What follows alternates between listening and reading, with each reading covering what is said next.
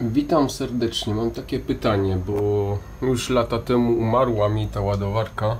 Ona jest mniej więcej tak zbudowana, że te chyba są cztery diody, bezpiecznik, transformator i z tego co mi tata kiedyś tłumaczył, to tu są otrzepy jakim prądem się ładuje. E, Podłączenie chyba do transformatora.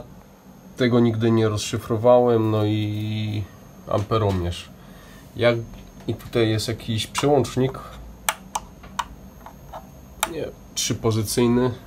Jakby ktoś miał kiedyś z takim czymś styczność i wiedział, jak to naprawić, jakie elementy są, proszę dajcie mi znać. Chętnie bym chciał ożywić ten sprzęt, tym bardziej, że teraz robię projekty właśnie typu ożywianie sprzętu.